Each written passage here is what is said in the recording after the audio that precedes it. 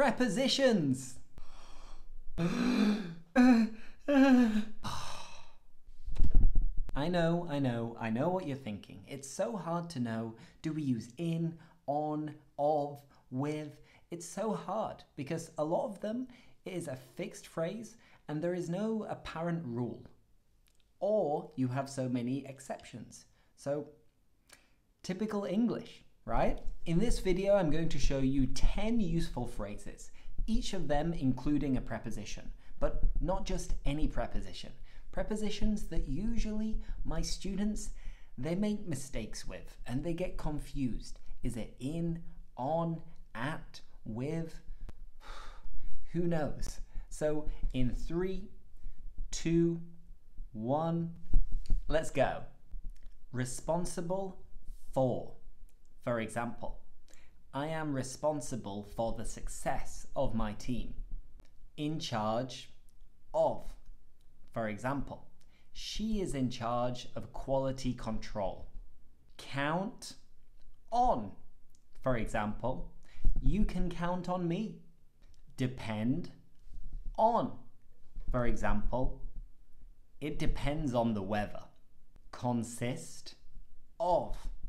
For example, this project consists of three sections. Think about or of.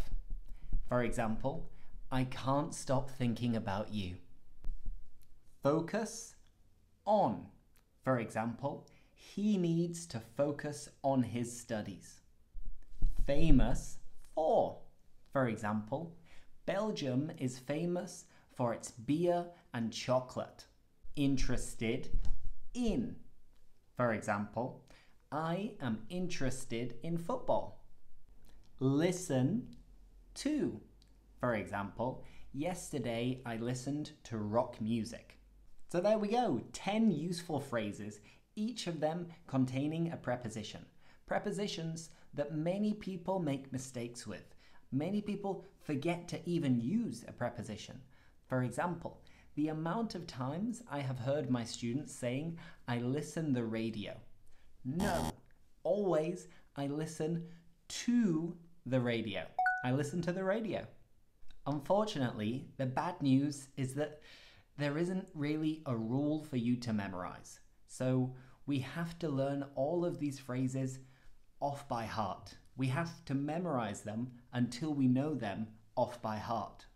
You know what they say practice makes perfect. So let's review all of these phrases and see if you can remember the prepositions. But first, do not forget to subscribe to English with Lewis if you'd like to really improve your English and practice business English, prepositions, phrasal verbs, and much, much more.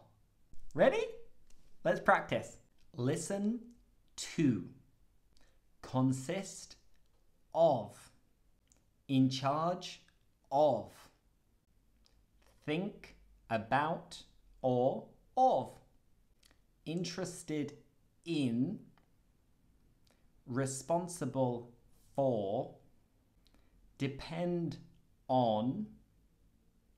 Famous for. Focus on, count on. Good job, well done. Hopefully at this point you know them all off by heart. You have learnt them all off by heart and you've memorized them. So let's practice with some conversation questions. What type of music do you like listening to? What are you in charge of at work? What is Paris famous for in your opinion? Is it easy for you to focus on learning English? What are you thinking about doing this weekend? Now, I would like you to choose one, two, or even three of these conversation questions, and I want you to reply to them in the comments, and I would be delighted to respond and correct any mistakes you make. So, I look forward to seeing them. As I said before, practice makes perfect. Ah, and by the way, I look forward to seeing them means that I am excited to see them. I want to see them. To look forward to plus an ing or a noun is to be excited about something happening in the future. For example, I'm also looking forward to going on holiday. obviously. Important tip. Given that we are focusing on prepositions and preposition mistakes, we have to remember that if we have a preposition followed by another verb, the next verb is always in the ing form, just like in the final two questions. Is it easy for you to focus on learning English? What are you thinking about doing this weekend? Time, before we finish, for a joke. What do you call a factory that sells generally decent things, decent goods? Let me repeat. What do you call a factory that sells decent goods? A satisfactory. Did you get it? They just get worse and worse, don't they?